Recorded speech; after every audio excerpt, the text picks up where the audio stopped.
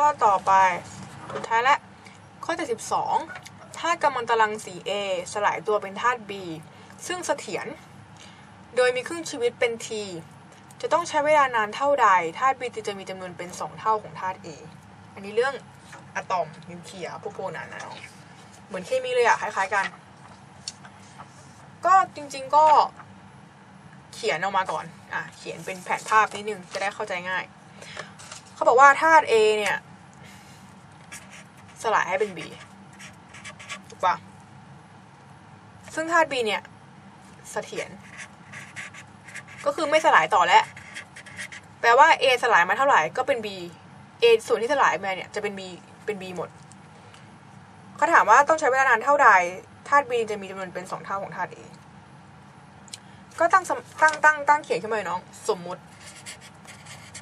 สมมุตินะ ตอนเริ่มเนี่ย ตอนแรกเลย A เนี่ยมีอยู่ n ศูนย์คือจำนวนจำนวนจำนวนธาตุ A เนี่ยมีอยู่ n ศูนย์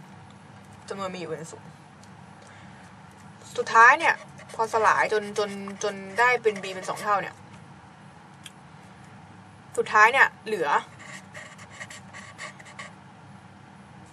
เหลือ UNA สลายไปสลายไปสลายไปสลายไปเป็น A สลายไปเป็น B สลายไปเป็น B สลายไปเป็น B จนสุดท้ายเนี่ยเหลือ UNA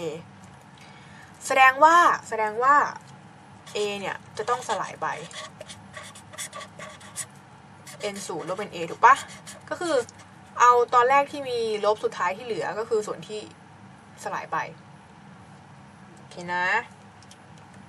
อะต่อมา B บ้าง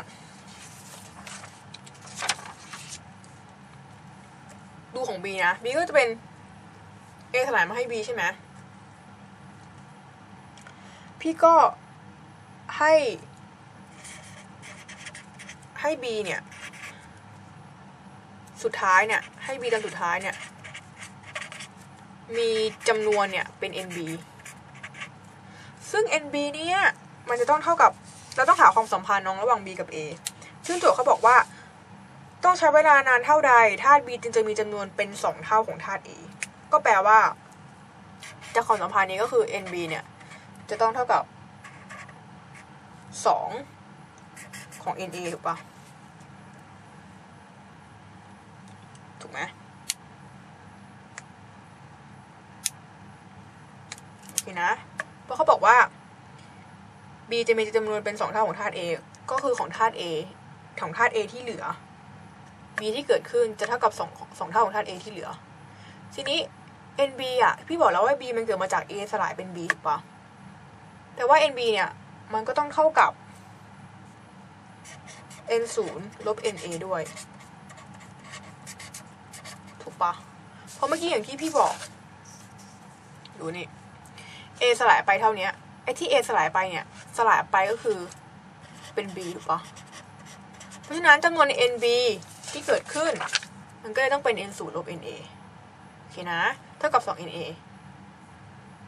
นะอันนี้คือโจทย์บอกกำหนดมา ถามว่า ถามว่าการเท่าใด b ถึงจะมีจำนวนเป็นสองเท่าของ na โอเค อะ ทีนี้เราก็ย้ายข้างเนาะเขาถามนานเท่าไหร่ แปลว่าต้องมีระยะเวลา อันนี้มันไม่มีระยะเวลาเลยน้อง น้องนึกถึงสูตรการสลายธาตุกัมมันตรังสีออกปะจะมีสูตร สูตรว่า n ที่เหลือ เท่ากับ n ทั้งหมด n ตอนเริ่มหารด้วย2กำลังจำนวนครั้งที่สลายนี่ออกปะเพราะฉะนั้นก็คือ n n ที่เหลือ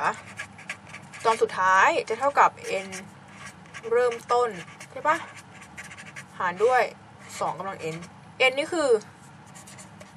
จำนวนครั้ง ที่สลายจำนวนครั้งซึ่ง n เนี้ย มันจะเท่ากับอะไรเนาะ t ส่วน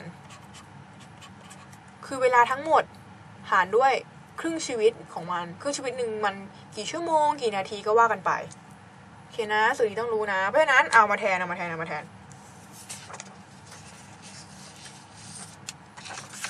อันนี้คือ n ที่สลายไปถูกปะ n ที่เหลือ n ที่เหลือ นี่คือ n เริ่ม ก็เขียนต่อ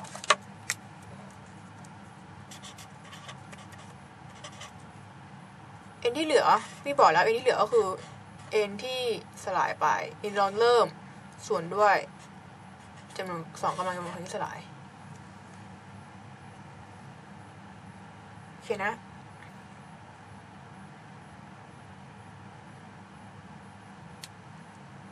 โอเคนะมีอันนี้ไม่มีอะไร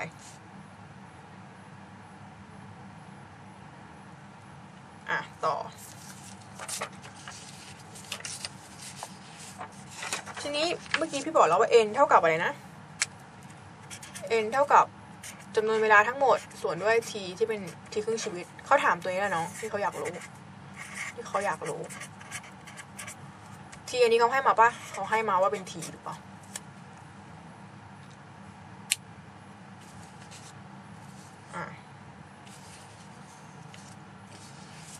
ทีนี้จากสมการสมการนี้ สมการนี้นะ n ศูนย์กับ n ศูนย์ตัดกันเลยแล้วกัน เก็บไว้ทำไมใช่ไหมตัดกัน ก็ย้ายข้างขึ้นไปก็ได้ไปอะไรน้องสองกำลัง n เท่ากับสาม